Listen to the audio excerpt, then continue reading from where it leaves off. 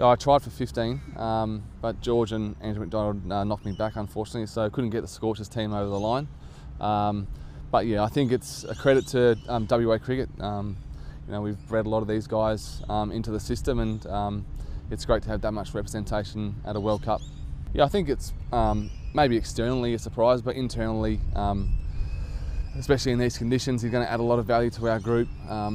a left arm spinner um, in those conditions will he'll play a vital role at some point throughout the tournament and you also know what Ash brings as a person um, which is really important for me as a leader um, not just about cricket so um, yeah wrap for him to see him back in Australian colours where he belongs.